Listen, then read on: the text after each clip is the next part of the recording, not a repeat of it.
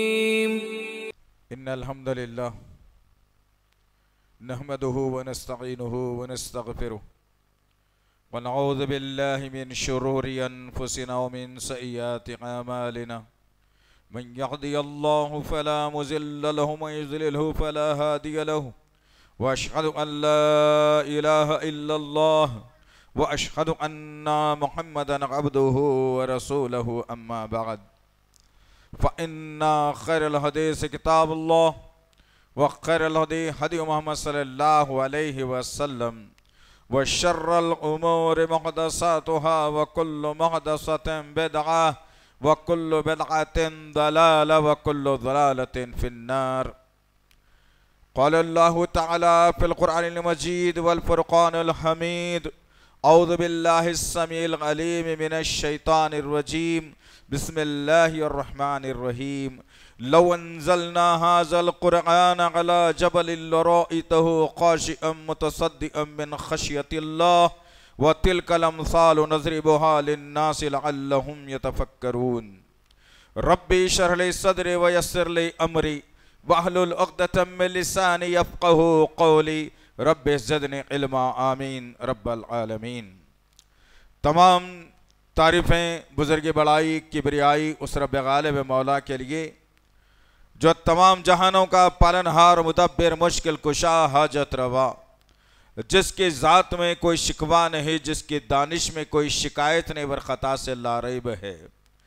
दरुद सलाम, महबत वही किताब हिकमत के मालिक, साहिब ताज वल मेराज व बुर्राक सल्लल्लाहु अलैहि वसल्लम पर।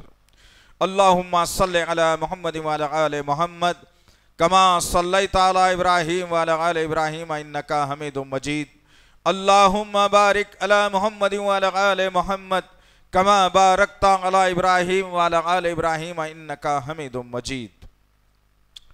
ब्रदर इस्लाम और पस पर्दा सुनने वाली इस्लाम की मगज़ व मोतबर ख़वातीन सुबहान अल्लाह व बेहमदही सुबहान अल्लाह तमाम मुसलमान माओ बहनों को ईद अजहा की बेपनाह दिल की गहराइयों से मुबारकबाद। तकबल अल्लाह मिन्ना व मिनकुम। अल्लाह का शुक्र है, एहसान है कि अल्लाह वाहदहू ला शरीक लहू ने हमको सुन्नत इब्राहिमी पर अमल करते हुए जानवरों को जुबा करने का अल्लाह ने सलीका और तरीक़ा सिखाया। अल्लाह से दुआ है कि अल्लाह ताला हर एक की कुर्बानी को कबूल फरमाए। आमीन या रब्बल आलमीन। ऐज़ान मोहतरम, जी तो चाह रहा था। ईद के बाद का मौका है, लोग कुर्बानी दे चुके हैं। लेकिन अजीज़ान मोहतरम, कल होने वाले हिंदुस्तान की सरजमीन पर और तेलंगाना की सरजमीन पर बदतरीन वाकयात और दुनिया की सरजमीन पर मुल्कों के अंदर कुरान की बेहरमती इस मुल्क की सरजमीन पर मुसलमानों को नमाज़ पढ़ने से रोकना और मुसलमानों को यह चैलेंज देना जालिमों की तरफ़ से कि मसाजिद को तमाम के तमाम बजरंग दल के ऑफ़िस बना दिया जाएगा। मुसलमानों का ताकुब किया जाएगा। मुसलमानों को सफ़े हस्ती से मेट दिए मिटा दिया जाएगा। गर्ज कहने की बात यह है जीजान मोहतरम हमारी इबादत से रोका गया। हमारी इबादत गाहों की बेहरमती की गई। कुरान जैसी मुकद्दस किताब को जलाया गया, लेकिन ये बेचारे मुसलमान कुर्बानी का गोश्त खाते रह गए। पता नहीं ये कौन सा सांप इन्हें सूंघ गया है आकर दुनिया की तरक्की के लिए तुम तक दो मेहनत करते हो। अल्लाह बीस हज़ार की तनख्वाह से हटाकर चालीस हज़ार कर दिया। तो तुम्हारे चेहरे के ऊपर मुस्कुराहट आ जाती है। अगर बीस हज़ार से अट्ठारह हज़ार हो जाए तो तुम्हारे चेहरे फक हो जाते हैं, तुम्हारे माथे खिंच जाते हैं। लेकिन इतने बड़े बड़े वाकयात इस दुनिया में, इस सरजमीन के ऊपर मुसलमानों के खिलाफ किए जा रहे हैं। और खुलेआम ऐसा नहीं है कि बंद कमरे में कोई गुफ्तगु की जा रही हो। बाबा रिकॉर्डिंग करके सोशल मीडिया पर डालकर चैनलों पर चला कर ये देखना चाहता है दुश्मन कि हम इनके खिलाफ अगर कहते हैं तो यह कौम कर क्या सकती है। बाबरी मस्जिद को खो दिया, कुछ नहीं किया इस कौम ने। तलाक के मसले पर शरीयत में तब्दीली की बात की गई, कुछ नहीं किया इस कौम ने। सी ए और एनआरसी का कानून लाने की कोशिश की गई, कुछ नहीं किया इस कौम ने। और अब एक्सा सिविल कोड का ताई ताई तामीर, और तैयारी जारी व सारी है, कभी भी नाफिज हो सकता है। बात को पहुँचा दिया गया इस उम्मत तक, लेकिन ये कौम सोती और जागती, नाचती और गाती रही। बेचती और खरीदती रही तो दुश्मन को पता ये चल गया कि अब ये कौम निढाल है। बेबस है, इसके सीने में दुनिया की मोहब्बत है। मालो जर की गुलाम बन चुकी है। ये अल्लाह से मोहब्बत नहीं रखती। ये रसूल अल्लाह से मोहब्बत नहीं रखती। ये मसाजिद से मोहब्बत नहीं रखती। यह कुरान जो बख्शवाने के लिए तुम्हें आया है, कामयाबी दिलाने के लिए तुम्हें आया है, हिदायत देने के लिए तुम्हें आया है यह कुरान की बेहरमती होते हुए अपने कानों से भी सुन सकती है, अपनी आँखों से भी देख सकती है। भला ये कौम उठ करके इसके खिलाफ कोई एहतजाज नहीं करती। दुश्मन को कैफरों किरदार तक ले जाने की ये बात नहीं करती। मसाजिद की हुरमत के लिए अपने जानो माल का नजराना देने का जज्बा ये नहीं रखती। तो दुश्मन तैयारी कर चुका है कि अब इनके सर पर मिर्चियाँ कूटी जाएँगी। इनको वो हालात बताए जाएँगे जो आज से पहले जो है ना, स्वीडन स्वीडन की सरजमीन पर हुए थे। दुनिया की सरजमीन पर हुए थे वह हालात इनके सामने लाए जाएँगे। म्यांमार के जैसा मुसलमानों की दुर्गत और हालत बना दी जाएगी, तभी तो हमने आज के खुतबे का उन्वान मुंतखब किया है। कुरान हमारी जान, मसाजिद हमारी पहचान। अजीजा ने मोहतरम यह गम की ज़िंदगी यह बुजदिली की ज़िंदगी यह नहत्तेपन की ज़िंदगी कि सुस्ती और काहली की ज़िंदगी से मुसलमानों को बाहर आना पड़ेगा? मेरी कुर्बानी चैनो सुकून से हो गई। मैं खुशी मनाता रहा कि चलो भाई, जानवर बड़ा हो या छोटा, मैंने जबा तो कर दिया और मेरी तो कुर्बानी हो गई है। क्या तुम्हारे सीनों में धड़कते हुए दिल, या तुम्हारे कानों के वो पर्दे, या तुम्हारी आँखों की वो रोशनी इस काबिल नहीं रही कल की निशिस्त में बताता हूँ, जहाँ आप और मैं अपने बकरे और दुम्बे को जबाह कर रहे थे, यहाँ से पंद्रह किलोमीटर दूर चंदा नगर बी एच एल कहीं दूर नहीं है। जबकि हुकूमत सेंटर से लेकर स्टेट तक इस बात को ला चुकी है कि गाय नहीं काटी जा सकती और इस्लाम हर वो शय का पाबंद है। इस्लाम किसी को दुश्मन दुश्मनी पैदा करना नहीं चाहता, किसी से दुश्मनी लेना नहीं चाहता, और किसी के मजहबी जज्बात को नुकसान पहुंचाना इस्लाम का शेवा नहीं है। सवाल यह पैदा होता है, हम में से, तुम में से, तमाम लोग अपनी जबानों को बुलंद करके पूछो कि पिछले सौ साल या सत्तर साल, पचहत्तर साल में जितनी हज़ारों लाखों की गायें कटी हैं, क्या उस वक्त आस्था का मामला नहीं था? क्या उस वक्त मजहबी जज्बात मजरू नहीं हो रहे थे? ये पूछने की ताकत तुम्हारे अंदर से खत्म हो गई। ये निढालापन छोड़ दो तुम। ये कमज़ोरी खत्म करो तुम। अपने बच्चों बच्चों के जहनों को मज़बूत और ताकतवर बनाओ तुम। दुश्मन के खिलाफ कैसे सफ आरा होना है? कैसे दुश्मन को डराना है? सभी नहीं जो हमारे मध्य मुकाबिल आएगा उनके लिए। बताओ तो सेना तुम, दिल दुख रहा है। कोई आदमी इस मामले पर बात करने के लिए तैयार नहीं। अल्लाह ने आपके इस भाई को जुमे का मौका दे दिया, वरना हम चाहते थे कि कल ही के दिन कुछ ना कुछ तो अपना पैगाम उम्मत के नाम देंगे, लेकिन हमने सोचा कि चलो ठीक है, जुमा मिल रहा है। एक एक को बताने के बजाय बेहतर यह है कि जुमे के दिन हमारा ईमान भी बढ़ा हुआ है, अल्हम्दुलिल्लाह, और जुमे का मुकदस दिन हमें मिल भी रहा है, अल्हम्दुलिल्लाह। तो क्यों ना इस दिन के पैगाम को आपके सामने रखा जाए? यहाँ से 15-17 किलोमीटर दूर के फासले पर चंदा नगर में जालिमों ने आकर के बड़े जानवर नहीं काटने का नारा बुलंद किया। बैल को मारकर जख्मी कर दिया जो कुर्बानी के काबिल नहीं रहा। उस बैल को उठाकर बाहर दूर जो है ना लेकर के चले गए। वह घर वाले बिलकते रहे, चीखते रहे, चिल्लाते रहे, पुकारते रहे कि इसकी तो इजाज़त है। कर सकते हैं, ये गाय नहीं है, बैल है। हमसे तो गाय छीन ली गई, कोई मसला नहीं है। हम बैल की कुर्बानी दे रहे हैं तो इसमें भला बुराई क्या है? लेकिन कोई सुनने वाला ना रहा। इससे भी मोहतात रहने की ज़रूरत है, सब कुछ हो सकता है। लेकिन तुम्हारी ये गफलत, तुम्हारी ये निकम्मापन, तुम्हारी ये नादानी, तुम दुनिया को रियाल डॉलर, दिरहम कमाने की फ़िक्र में जो आज इस्लाम का नुकसान कर रहे हो ना, मियाँ, तुम्हें छोड़ा नहीं जाएगा, याद रखो। एक बहन की अगर इसमत रेजी अगर होती है, इन भाइयों से, इन बापों से, इन जिम्मेदारों से पूछा जाएगा, उस बहन की इसमत रेजी कैसे हुए तुम्हारे मौजूद रहते हुए, तुम्हारी ज़िंदगी चलते हुए, तुम इस मुल्क में रहते हुए, तुम इस रियासत में रहते हुए क्या कर रहे हो आखिर? एक नहीं, बेशुमार मुकामात पर। ईद उल अजहा का मौका आते ही सब अपने अपने बिलों से निकल के आते।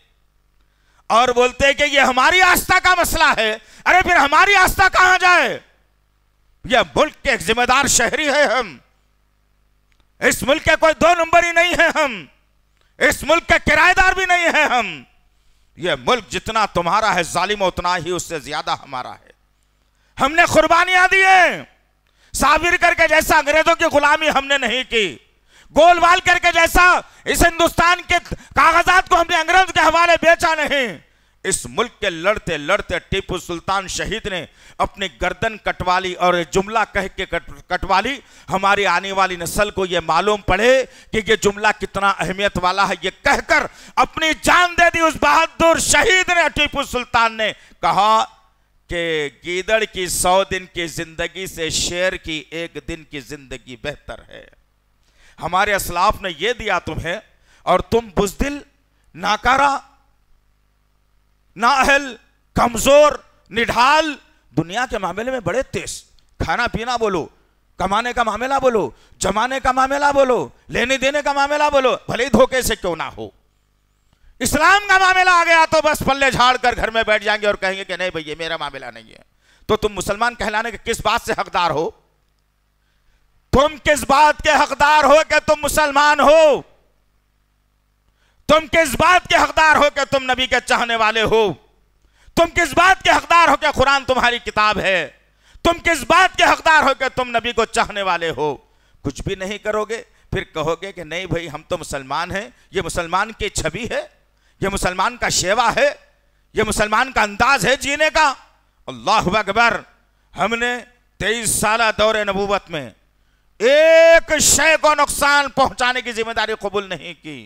हमारे खुलफाए राशिदीन का दौर, अल्लाह अकबर, इतना सादा और इतना बेहतरीन। सुबहान अल्लाह वबहमद सुबहान अल्लाह लजीम। गवर्नर का बेटा अगर जुल्म करता है मासूम अवाम पर, हमारे खलीफा ने गवर्नर और गवर्नर के बेटे को बुलाकर सजा दी लोगों के सामने। यह इंसाफ है हमारा। जिस वक्त उमर बिन खत्ताब रज़ी अल्लाह तहों का इंतकाल हुआ मदीने में। दुनिया तक कोई मौसलाती निज़ाम नहीं था कि फ़ोन करके बता दिया जाए, टीवी चैनल पर बता दिया जाए, ऐसा कुछ नहीं था। मगर लोगों ने इस बात की गवाही दी कि एक तालाब के किनारे एक आदमी पानी लेने के लिए गया और क्या देखता है कि एक शेर, एक बकरी या भेड़ पर हमला करता है। गौर से ले जाओ अरे तुम किस जिमन में हो यार? मेरे समझ में नहीं आता ये। ये कौन से मुसलमान आए? खर ये। वही मुसलमान है जो तारीख को रकम कर दिए थे। आज उठना पड़ेगा तुमको। कुर्बानी देने के लिए उठना पड़ेगा। इब्राहिम इस्लाम की ज़िंदगी सुन चुके है गुजशत जुमे में। हर लम्हा, हर वक्त कुर्बानी थी। आज भी देना पड़ेगा। इस्लाम कुर्बानियों का नाम है। अच्छे लवाजिमात, अच्छे कपड़े अच्छा बैंक बैलेंस अच्छी ज़िंदगी, खुशी हँसते बोलते गुजारने का नाम इस्लाम नहीं है, याद रखना मेरे आका के तेईस साल ज़िंदगी पूरी इम्तिहानों में गुजरी। मेरे साहबा की पूरी ज़िंदगी अबू बकर से लेकर अक्रमा बिन अबू जहल तक, आखिरी साहबी तक। पूरी इम्तिहानात में आजमाइशों में गुजरी। तुम किस खेत की मूरी हो? समझ में नहीं आता? अरे, अजीब सा फलसफा है। इतने हालात बदल रहे हैं, हम आवाज़ उठाने के काबिल नहीं। तो भी तुम्हारी ज़िंदगी क्या है? भर दो जेलों को। कुछ नहीं होने वाला है। मेरे यूसुफ ने जब जेल को जाने का इरादा कर लिया तो अल्लाह ने जेल से वज़ीर खाना, खजाना, मुल्क का एक वज़ीर खजाना बनाकर बाहर निकाला। हर शय इस्लाम के लिए आसान है, कोई मुश्किल नहीं है। गर्ज के एक शेर आया दरिया के किनारे और फिर एक बकरी पर हमला कर दिया। उसका भी ईमान क्या था वो साहबी रसूल का? वो ईमान वाले का? आज तुम देखकर अनजान मार के चले जाते। हुआ होगा भाई, मैं क्या करूँ? ईमान वालों की ऐसी रविश नहीं होती। ईमान वाला चक करता है, हालात क्या है?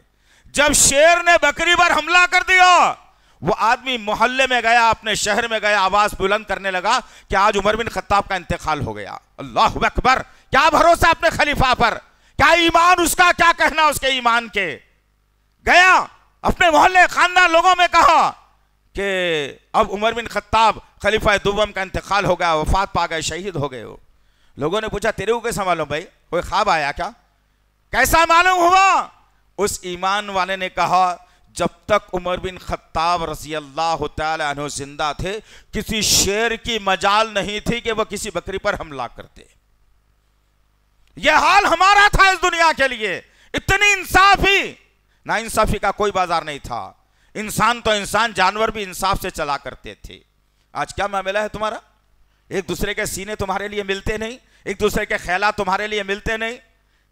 सियासत को लेकर तुम झगड़ने वाले, मज़हब को लेकर तुम झगड़ने वाले, पॉलिटिशियन की बातों में आकर तुम लड़ लेने वाले, अपनी गतियों को संभालने के लिए इस्लाम का सौदा करने वाले। पता नहीं कितने इल्ज़ाम तुम पे लगाए जाएँ अजीजान मोहतरम। गर्ज, कहने का मकसद यह है कि उठो, अपने सीनों के अंदर इस्लाम की मोहब्बत और चाशनी को भरो। यह नहीं चलने वाला है। यह नहीं चलने वाला है। बच्चे को अभी कमाना है, पैरों पे ठहरना है। बच्ची को अच्छा ऑस्ट्रेलिया, इंग्लैंड का, हॉलैंड का, जो है ना, अमेरिका का या लंदन का जो है दामाद मिलना है। अभी घर के पिल्लर बने हैं, दीवारें उठाना है। अस्तफरल्ला रब मौत का कोई भरोसा है तुम्हारे पास? कुछ नहीं है जीजान मोहतरम। हालात बदल रहे हैं। ये सेकुलरिज्म का नारा लगाकर तुम्हें बेवकूफ़ बनाया जा रहा है। कोई सेकुलरिज्म नहीं है, इस्लाम पसंद नहीं करता इसको। हमने बारहा कहा इस मेंबर से। तुम्हारे कानों में जो नहीं चलती ना, मैं क्या करूँ इसमें? तुम यहाँ सुनते, बाहर निकल के बोलते, अरे जान दो भाई, अब तो थोड़ा कमाना है, कमाने को अब बीच निकलो, छह महीने छुबा तो क्या? इस्लाम मिट जान दो, मसाजिद खत्म हो जान दो, कुरान को जला दिया जाने दो, कुरान के जो है तर्जुमे में तब्दीली कर दी जाने दो। क्या होगा आखिर? कैसे? इसके लिए जिब्राइल आए फिर से? नहीं, तुमको उठना पड़ेगा, तुमको करना पड़ेगा, तुमको बोलना पड़ेगा, तुमको इस्लाम बचाना पड़ेगा, तभी तो कामयाबी है, याद रखो। गर्ज कहने का मकसद यह जीजान मोहतरम, कुरान हमारी जान, मस्जिद हमारी पहचान, मस्जिदों का मुकाम अल्लाह रबुल इज़्ज़त के पास क्या है? इस कायनात को अल्लाह वाहदहुल शरीक लहू ने जब बनाया तो दो चीज़ें सबसे पहले बनाई। जहन में बिठा लेके जाओ इसको। फिर उसके बाद देखना कि हम कितनी हुरमत, कितनी इज़्ज़त इन मुकाम की करते हैं। इस कायनात को अल्लाह ने बनाया, दो मुकाम सबसे पहले बनाए एक ज़मीन के सेंटर में काबतुल्लाह काबा बनाया। दूसरा इसी आसमान के ऊपर, पहले आसमान पर बैतुल मामूर बनाया। इससे यह पता चला कि इंसानों के बनाने से पहले अल्लाह रब्बुल इज़्ज़त को अपना घर पसंद है। और अल्लाह वाहदहुला शरीक लहू ने आदम के दौर से लेकर नूह सलाम के दौर तक उसी घर की इबादत हुआ करती थी। अहमियत जानो तुम घरों की क्या है अल्लाह के। उसके बाद इन जालिमों को हम जवाब भी देंगे इंशाला बहुत हो गया। कानून का डर, हमें ना बताओ बाबू। हमें मालूम है कानून क्या है। इस मुल्क का एहतराम कैसे करना है वो भी मालूम है। हमें मालूम है कि किस तरीके से इस्लाम को बचाया जा सकता है। हमें मालूम है कि किस तरह से कच्चे पक्के घरों में इस्लाम पहुँचाया जा सकता है। हमें मालूम है कि कुरान का मुकाम क्या है। हमें तुम एहसास ना दिलाओ, एहसास कम तरी में ना ढक लो और मसाजिद से प्यार जितना मुसलमान करता है, अपने दरो दीवार से भी नहीं करता।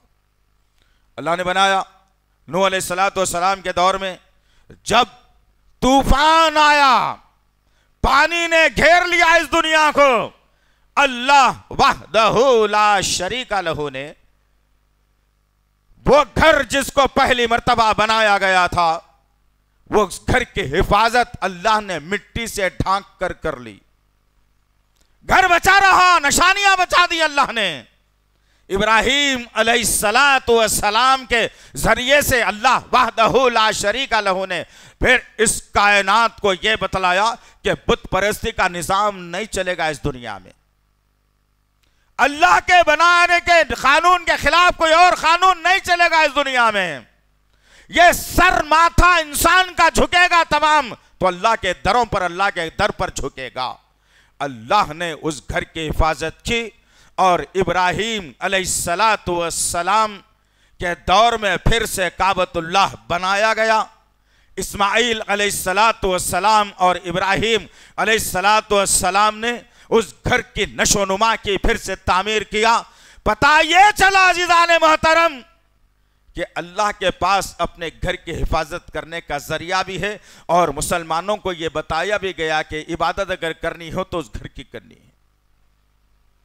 फिर हालात बदले, वक्त बदलता रहा, इबादतें आती रहीं, रसूल आते रहे, एक वक्त वह भी आया कि मेरे और आपके आका मोहम्मद सल्लल्लाहु अलैहि वसल्लम को नबूवत और रिसालत का सरताज सर चश्मा बनाकर इमामुल अंबिया बनाकर, मालिक हौज कौसर बनाकर, शाफी महशर बनाकर, मोहसिन इंसानियत बनाकर, इस कायनात में अल्लाह ने जब भेजा तो तेरह बरस तक अल्लाह के नबी सल्लल्लाहु अलैहि वसल्लम मक्के की सरजमीन पर चल रहे हैं, फिर रहे हैं। अल्लाह के हुक्म से अल्लाह ने फिर इजाज़त कहा, हमें हिजरत करना है मोहम्मद सल्लल्लाहु अलैहि वसल्लम।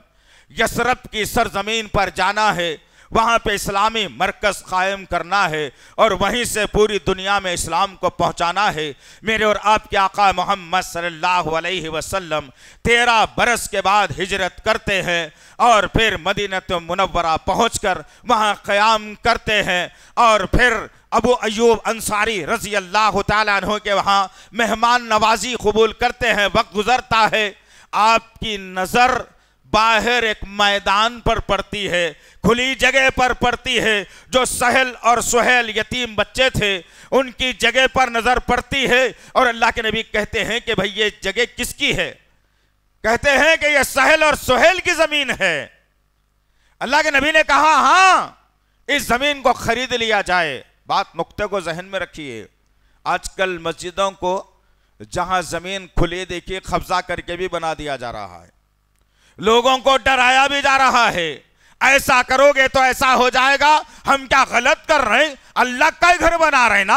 अस्तगफिरुल्लाह, किसी की कब्जा की हुई ज़मीन पर घर नहीं बनाया जा सकता।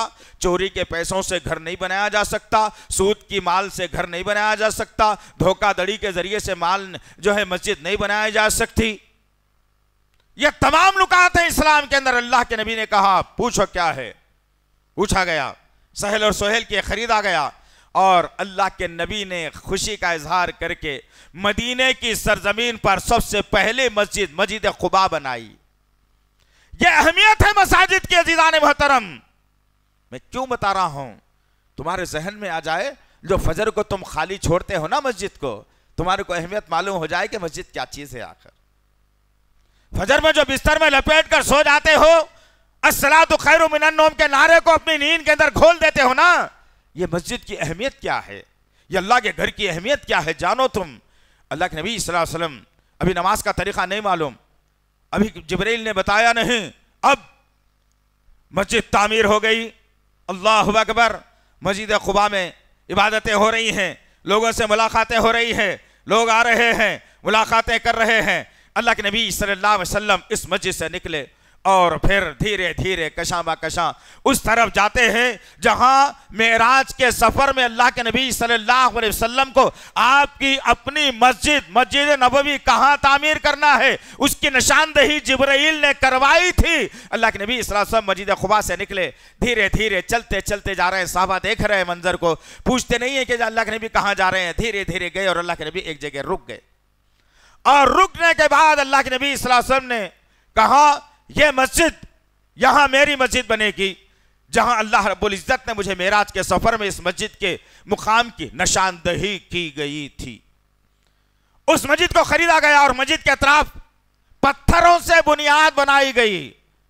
अलग नबी सल्लल्लाहु अलैहि वसल्लम को बताया गया कि मस्जिद कितनी होनी है तो आपने साहबा कराम से कहा कि बुनियादें नहीं खोदी जाएँगी, पैसे नहीं है। लिहाजा पत्थरों से इस मस्जिद की बुनियाद रखी जाएगी। हर साहबी, अंसार और महाजरीन में। और तारीख में यह बात आती है कि इस मस्जिद के अहाते में सबसे पहला रख पत्थर रखने वाली शख्सियत अबू बकर सिद्दीक रज़ी अल्लाह है। उस मस्जिद के बारे में आज पहले दिन से तकबे पर कायम हुए। अल्लाह अकबर, अहमियत है मस्जिद की। अहमियत है मस्जिद की। अब मस्जिद की बाउंड्री बना दी गई। वहाँ से नमाजों का सिलसिला शुरू हुआ। चंद दिन के बाद अजानों का सिलसिला शुरू हुआ और सुबहान अल्लाह व बेहमदी वो मस्जिद जो छप्परों से बनाई गई थी, खजूर के पत्तों से बनाई गई थी, वो मस्जिद आज सुबहान अल्लाह व बेहमदी सुबहान अल्लाह लजीम जितना शहर नबी के दौर में था, आज वो पूरे का पूरे शहर को मस्जिद में तामीर कर दिया गया। तब्दील कर दिया गया, इतनी बड़ी मस्जिद मस्जिद नबी अल्लाह अकबर। वहाँ नमाज़ पढ़ने की बात ही कुछ और, काबे में नमाज़ पढ़ने की बात ही कुछ और, काबे में नमाज़ पढ़ने की जो है ना, रकातों की बातों कुछ कुछ और, सजदे और रुकू की बात कुछ और, मस्जिद नबवी के अंदर रुकू और सजदे करने की बात ही कुछ और, वहाँ बैठकर कुरान पढ़ने की बात ही कुछ और, हमेशा 24 घंटे अल्लाह ने उन दो घरों के ऊपर रहमत का नजूल किया है। उसी सिलसिले में जहाँ कहीं मस्जिद बन जाती है। याद रखना इस बात को। पूछेगा अल्लाह, मुझसे भी पूछेगा, तुमसे भी पूछेगा। जोरू को जेवरात दिलाने के लिए कितने पैसे खर्चा करे थे? हर महीना ईसाइत बताने के लिए, वंदे मातरम पढ़ाने के लिए, अच्छी इंग्लिश बताने के लिए, बच्चों को पाँच पाँच दस दस हज़ार के फ़ीस दे करके तुमने दो बच्चे अगर पढ़ा रहे थे तो दस हज़ार रुपये बिलाल आगा दे करके तुम अपने बच्चों का ईमान और अकीदे का सौदा करके पढ़ा रहे थे। आओ मियाँ, ज़रा लाइन में खड़े रहो, ज़रा हिसाब दो। मस्जिद में जो है ना, तुमने पैसे कितने खर्चा किए? मस्जिद में जानी फटे हुए थे। मस्जिद का बिल बाकी था। मस्जिद को रंग कराना था। इमाम साहब को तनख्वाह देना था। मुजम साहब की तनख्वाह बाकी थी। और भी कुछ ज़रूरियात के काम थे। जो है ना टॉयलेट वाले का काम करवाना था। बहुत सारे काम मस्जिद में थे। तुमने मत मत कर दस रुपये झोले में डालकर अपनी ज़िम्मेदारी को मुकम्मल कर लिया। और बेटों को, बेटियों को पढ़ाने के लिए लाखों लाखों रुपये तुमने ऐसे कॉलेजों में, ऐसे जगहों पर तुमने डाले जहाँ तुम्हारे बेटे और बेटियों की इसमतों का, ईमान का, अकीदों का सौदा होता रहा। पूछा जाएगा तुमसे। मस्जिद नबी बनी, जिस वक्त तामीर का मसला आया। पहले क्या हुआ? चार सुतून लगाए गए खजूर के झाड़ के ऊपर जो है ना पत्तों को डाला गया। एक मरतबा हुआ ये। देखो, मोहब्बत कैसी थी मुकाम क्या था, साहबा कराम का। अल्लाह ने कैसे उनसे राज़ी होने का ऐलान किया और मसाजिद से उनकी मोहब्बत कैसी थी। जब एक मरतबा हुआ ये कि रेत बराबर कर दी गई, बिछाने के लिए कुछ नहीं। रेत को बराबर कर दिया गया, बारिश हुई। बारिश का पानी पत्तों के ज़रिए से ज़मीन पर गिरा। और कीचड़ कीचड़ हो गया ज़मीन के अंदर। मेरे और आपके आका मोहम्मद सल्लल्लाहु अलैहि वसल्लम नमाज़ के लिए आए। साहबा ने ये नहीं सोचा कि भाई कीचड़ लग जाएगा, घर में पढ़ लूँ क्या? कपड़े गंदे हो जाएँगे ना, मस्जिद को जाना ज़रूरी है क्या? तुम्हारे, हमारे कपड़ों की कितनी अहमियत है, जरा गौर करो तुम। इसी की वजह से ये भारी भारी चीज़ें बिछाने की नौबत आ गई मस्जिद में। अगर इसको उठाकर पत्थरों पर नमाज़ पढ़ा दो तो दूसरे दिन से फतवे निकलेंगे कि बड़ी बड़ी खाली ने मस्जिद में आई थी, पता नहीं कहाँ गए पत्थरों पर नमाज़ पढ़ा दिए मौली साहब। अरे उनकी शख्सियतों से ज़्यादा मेरी शख्सियत नहीं, वो आला शख्सियत, व आला व अरफा, जिसको इमामुल अंबिया अल्लाह ने मोहम्मद सल्लल्लाहु अलैहि वसल्लम नमाज़ के लिए आए। कीचड़ कीचड़ है। अकामत दी गई साहबा कराम सब बंदी में लग गए। अल्लाह के नबी सल्लल्लाहु अलैहि वसल्लम इमामत कर रहे हैं साहबा की। कीचड़ कीचड़ लगा हुआ है। अल्लाह के नबी ने उसी कीचड़ के अंदर रुकू भी किया, सजदे भी किए और जब सजदा करते हैं मेरे नबी सल्लल्लाहु अलैहि वसल्लम तो वो ज़मीन का सारे का सारा कीचड़ मेरे नबी की पेशानी और नाक और गालों पर लगना शुरू हुआ। अब जब नमाज़ ख़त्म हुई, पलट कर जब अल्लाह के नबी सल्लल्लाहु अलैहि वसल्लम साहबा के तरफ़ रुख करके बैठते हैं, साहबा के दिलों को ऐसी तकलीफ़ होती है, वो अपने मैले कपड़ों को भूल गए, वो अपने लगे हुए चेहरे के जो ना कीचड़ को भूल गए और वो देखते रह गए कि एक नूर मुजस्म मोहम्मद सल्लल्लाहु अलैहि वसल्लम जिन पर हमारे माँ बाप हमारी सारी कायनात कुर्बात है, वो शख्सियत के गाल पर कीचड़ लग गया। साहबा कराम के अंदर चह मोगैया शुरू हो गई, गुफ्तगु शुरू हो गई। क्या किया जाए? गुर्बत सर से ऊँचे चल रही है। हिजरत करके आए थे। मदीने में, मक्के में सब कुछ लूट लिया गया था। कुछ नहीं, साहबा के अंदर तड़प रहे हैं, क्या करना है? अल्लाह अकबर, अल्लाह के नबी ने भाप लिया अपने जानने और मानने वालों के लिए। अब अल्लाह के नबी ने आवाज़ को बुलंद किया और कहा, मेरे साथियों, मस्जिद बनाने के लिए चंदे की ज़रूरत है। चलो चंदा जो है हासिल किया जाए। देखते जाओ मदीने में कौन कौन मालदार है। उन सबसे चंदा लेकर इस मस्जिद को बना दिया जाए, पक्की बनाएँगे मस्जिद अब। अल्लाह अकबर, जब मेरे आका के अल्फाज तुम जैसे बैठे हो ना, ऐसे ही बुलंद हो के कानों तक पहुँचे उस्मान बिन अफ़ान रज़ी अल्लाह तीसरे खलीफा। नबी का दोहरे दामाद खड़े हुए और कहा, या रसूल अल्लाह किसी से एक रुपया भी लेने की ज़रूरत नहीं है। आपका ये दामाद हाजिर है, आपका भाई हाजिर है, मैं पूरी मस्जिद बना के दे देता हूँ, बेफिक्र रहो। है तुम में से कोई ऐसा? जुमे को सारी लाइन में एक आदमी चादर पकड़कर यहाँ तक जाता है, कोई दस रुपए डालने वाला नहीं है लाइन में। कौन से मोहब्बत करते हो तुम आखिर? अपनी जायदाद से, अपने दरो दीवार से, अपने अलहयाल से जो कल तुम्हारे माल पर लानत करेंगे। बंटवारे में अगर जरा सा ऊंच नीच हो गया तो बेटा और बेटी बाप को गालियाँ देंगे और कहेंगे कि बाप ने इंसाफ नहीं किया, उस भाई को ज़्यादा दे दिया, मुझे कम दे दिया। अगर दो बीवियाँ हैं तो दोनों लड़ लेंगे और कहेंगे कि तुझे इतना, मुझे इतना। तुम्हारी कमाई लोगों में बटकर भी फैज का नाम नहीं लेगी, लेकिन वो साहब कराम कैसे थे, जरा गौर करो, जिन्होंने कहा कि, या रसूल अल्लाह हम देने के लिए तैयार हैं, किसी से मत लेना। अरे हमारी रविश भी अगर ये हो जाए इन घरों के ताल्लुक से तो फिर याद रखना जिजान मोहतरम, बजरंग दल का हर गुंडा इस माथे, इस दर पर आकर सर झुकाएगा और माथा टेकेगा इंशाला इस घर की हिफाजत होगी। तुम कैसे सुन सकते हो? अगर तुम्हारे घर के किसी प्लाट के ऊपर अगर कोई मैं अपना बोर्ड ले जाकर लगा दूँगा मेरा प्लाट है तो तुम अपने 25-50 गुंडों के साथ मेरे ऊपर लड़ने के लिए आ जाओगे। मारने के लिए आ जाओगे, सर फोड़ने के लिए आ जाओगे। अदालत, पुलिस में केस कर दोगे कि एक आदमी हमारा प्लाट कब्जा कर रहा है। इसी बजरंग दल के गुंडे ने कल की तारीख में खड़े होकर यूपी की सरजमीन पर कहा कि हिंदुस्तान में जितने भी मसाजिद हैं, उन मसाजिद को बजरंग दल के दफ्तर में तब्दील कर देंगे।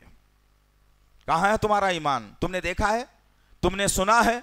तुम की क्या, तुम्हारी क्या ज़िम्मेदारी है भाई? बहन की इज़्ज़त लुटती है, लुट जाने दो, मुझे कुछ नहीं होना चाहिए। बेटी किसी के साथ भाग जाती है, भाग जाने दो, मुझे क्या करना है इससे? तुम तो दस्तूर बना के बैठे हो ये। इस घर की अहमियत तुम क्या जानते हो? किसी जालिम की जबान नहीं उठनी चाहिए हमारे घरों के खिलाफ, अल्लाह के घरों के खिलाफ। वरना जबान नोच ली जाएगी, बोलने के फिर कभी काबिल नहीं रहेगा इन लेकिन तुमसे नहीं होगा ये। तुमसे नहीं होगा, माफ़ी चाहूँगा मैं तुमसे। तुम सिर्फ़ अपनी कमाई को देखो, अपनी ज़िंदगी को देखो, अपनी तिजारत को देखो, अपनी नौकरियों को देखो, अपने घरों को देखो, अपने घरों के खानों को देखो, अच्छे मोटे मोटे कपड़ों को देखना, बस इतना ही काफ़ी है तुम। तुम ऐसे जी लो, अल्लाह का वादा है याद रखो कि ए मुसलमानों सूर्य मोहम्मद वसल्लम की आखिरी आयत में अल्लाह ने कहा, और तुम्हारे लिए, मेरे लिए शर्मिंदगी का बास है। खानदानी मुसलमान मैं भी हूँ, खानदानी मुसलमान तुम भी हो। सूर्य मोहम्मद वसल्लम की आखिरी आयत में अल्लाह ने कहा, अरे मुसलमानों, अगर तुम अपनी जिम्मेदारियों से मुँह मोड़ लोगे, अगर तुम दीन की बेजारी इख्तियार करोगे, मैं तुम्हारे दरमियान से ऐसी कौम को उठा के खड़ा करूँगा जो मुसलमानों से मोहब्बत करेगी। अल्लाह वादा कर लिया बात का तुम नहते, कचरा है, तुम कचरा। कचरे से सिवाय बदबू के कोई दूसरा नहीं, बात नहीं आ सकती। चाहे उसके ऊपर जो है ना, एक लारी ला करके तुम अगर अतर भी उंडेल दिया जाए तो कचरे की बदबू तो बरकरार रहेगी रहेगी। एक कचरा है, ये कचरा। अपने आप को तुम समझ रहे होगे कि नहीं, मैं बहुत बड़ा हूँ, नहीं, मैं मेरी बहुत बड़ी पहुँच है, मेरी बहुत बड़ी ताकत है, मेरे पास बहुत बड़ा दौलत है, लेकिन तुम्हारे सीने इस्लाम की मोहब्बत से खाली है। नींद को तुम, नींद से मोहब्बत करते हो तुम, कमाई से मोहब्बत करते हो तुम, माल से मोहब्बत करते हो तुम, जेवरात से मोहब्बत करते हो तुम, औलाद से मोहब्बत करते हो तुम। इस्लाम से मोहब्बत कहाँ है? यह सीने खाली है इस्लाम से। इतनी बड़ी बात एक जालिम ने कह दी। इतनी बड़ी बात। महाराष्ट्र की सरजमीन पर कोई गाय नहीं लाई गई थी, कोई बैल नहीं लाया गया था, बकरे को लाया गया था। मुस्लिम कम्युनिटी, मुस्लिम बिल्डिंग, मुसलमान रहते हैं। वहाँ पर बकरे को लाकर जुबा जब किया जा रहा था तो सारे के सारे बजरंग दल, नामर्द जालिमों, तुम्हें किसी सच्चे मुसलमान से साबिका नहीं पड़ा असल में। जिस दिन सच्चे मुसलमान से साबिका पड़ेगा ना, फिर वो आशकी से पता चलेगा कि क्या निकलता है तुम्हारे अंदर से इंशाला दुख होता है देखकर तुम सारे के सारे निकम में तमाशबिन बने बैठे हो। कोई एक नौजवान उठकर सोशल मीडिया पर डालने वाला नहीं है। क्या ज़रूरत है तुम्हें इसकी? वो बहन, वो भाई को पीटा गया, मारा गया। 25-50 लोग दो लोगों पर हमला कर दिए। पुलिस आ गई और पुलिस कहती है कि नहीं नहीं भाई, नहीं कर सकते, बकरे की भी कुर्बानी नहीं करना आप जाओ। नहीं कर सकते तुम! अल्लाह अकबर! ये क्या मुझे खाब पड़ा था? ये तो आपके भी सोशल मीडिया पे आया, मेरे भी सोशल मीडिया पे आया। मैंने देख करके उसका इजाला कर दिया मुखालिफत के। आपने क्या किया? पूछेगा अल्लाह पूछेगा अल्लाह, याद रखना। ये जो जुमे में बैठ के उंगरे ना, ये लोग आए जो। नींद के आगोश में नहीं आना जुम्मे को। खुली खुली बात है भाई। जुमे में बड़े बड़े जमाया लेना है, या जुमे में नींद के आगोश में जाना है नींद की ढुलकियाँ खाना तो जुमे में आना ही नहीं, घर में सोए पड़े रहना। इस्लाम को बदनाम मत करो, गुस्सा आता मुझे बद क्यों खाते इतना? क्यों जगे आज जुमा है, मालूम था ना? रात में जल्दी सोना नहीं मालूम, जुमे की अहमियत करना नहीं मालूम, अल्लाह के घर में आना नहीं मालूम। दुश्मन अपनी पूरी ताकत को छोंक रहा है मुसलमानों की तबाही के लिए, मुसलमानों के जो है इस्लाम को, शरीयत को बदलने के लिए, ये मुसलमान बेचारा खूब खा खा के जुम्मे में भी आके भी लौट रहा है ऐसा। ये कई की मुसलमानी है, तुम्हारी समझ में नहीं आता। क्या काम लेगा अल्लाह, तुमसे कुछ नहीं लेगा। कल की सरजमीन, कल की बात थी। स्वीडन की सरजमीन पर एक जालिम ने ईद के दिन मस्जिद के बाहर खड़े होकर नारों को बुलंद करके, मुसलमानों के खिलाफ में नारों को बुलंद किया और कुरान की बेहरमती करते हुए उसकी औराक को फाड़ कर मस्जिद के सामने जला दिया। तुम्हारे घर में है कुरान? है, पढ़ता नहीं हूँ। पढ़ता हूँ तो समझता नहीं हूँ। समझता हूँ तो गौर नहीं करता हूँ। बस है कुरान। है है, घर में कुरान है। तुम क्या जानते हो इस कुरान के मामले में? आओ दो तीन बातें कहकर अपनी बात को मैं ख़त्म कर दूँ इंशाला सबसे पहली बात सुर हशर में अल्लाह रब्बुल इज़्ज़त ने इस कुरान का मुकाम, मर्तबा, वज़न, ताकत बताई। अल्लाह अकबर! अगर तदब्बर अगर तुम कर सकते हो, बजाय तफरी के अंदर बीस, तीस, चालीस हज़ार रुपए तुम खर्च करके इधर उधर मुँह मारते फिरते हो, उससे बजाय है कि कुछ और पैसे डालकर उमरा चला जाओ। उमरा जाने के बाद इस आयत को जहन में रखो। अल्लाह वाहदहुला शरीक लहू ने कहा लोवंजलना हाजल कुरान अला जबल मिन खशियतिल्लाह। व तिलकल अमसाल नजरिबुहा लिन्नास लअल्लहुम यतफक्करून। पढ़ा है कभी आयत को? हकीकी तौर पे बोलना। मुझे नमाज़ के बाद जवाब देके जाना। पढ़ा इस आयत को। इस आयत को गौर किया है, तदब्बर किया है इसके नज़ारों को देखा है। कुछ नहीं मालूम मुसलमानों को। ये भी कुरान में है क्या मौली साहब? यारे ये भी है कुरान में मौली साहब? अरे, ऐसा भी है कुरान में मौली साहब? ये मुसलमान सवाल करता हमारे से।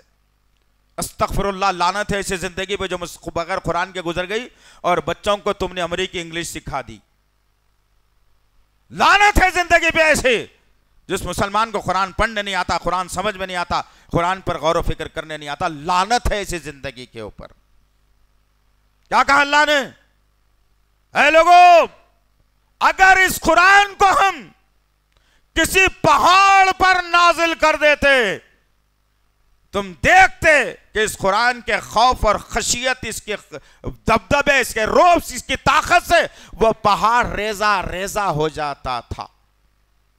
हम ये मिसालें लोगों को बयान करने के लिए बयान कर रहे हैं मेरे अल्लाह ताला। ये ताकत है कुरान की। आओ ज़रा देखते हैं आगे बढ़कर।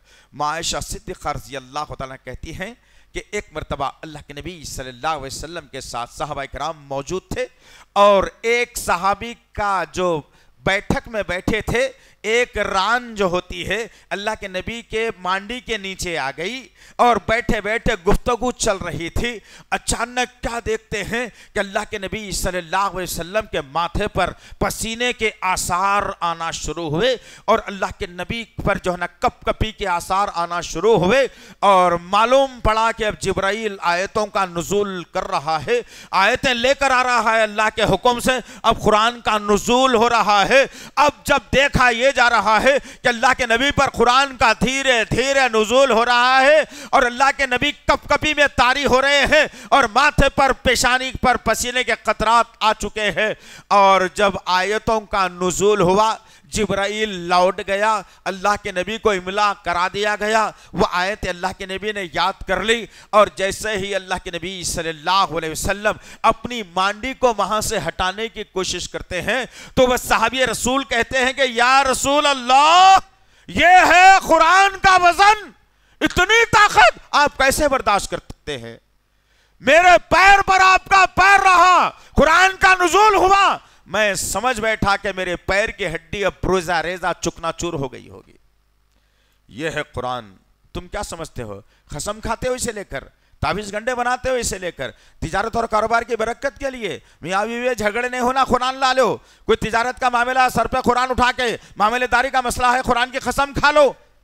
रबी लानत है ज़िंदगी पे ये। क्या समझते हो तुम कुरान को? हमारी शान, हमारी ज़िंदगी, हमारी बख्शिश जहन्नुम से छुटकारा, जन जन्नत में दाखिला। नबी की मोहब्बत अल्लाह का खौफ कुरान है हमारे लिए। कुरान है हमारे लिए। आज उसी कुरान को कई मर्तबा जलाया जा रहा है, लेकिन तुम उठकर आवाज़ बुलंद करने से खासिर रहे। क्या तुम्हारी कुरान कोई दूसरी है? कोई और मज़हब की किताब को कहीं कुरान तो नहीं समझ लिया नौजबिल्ला आजबिल्ला क्या अहमियत है तुम्हारे पास कुरान की? यहाँ बैठने वाला हर आदमी मुजरिम है। एक एक बेटे को एक एक घर से हाफिज बना देना चाहिए था।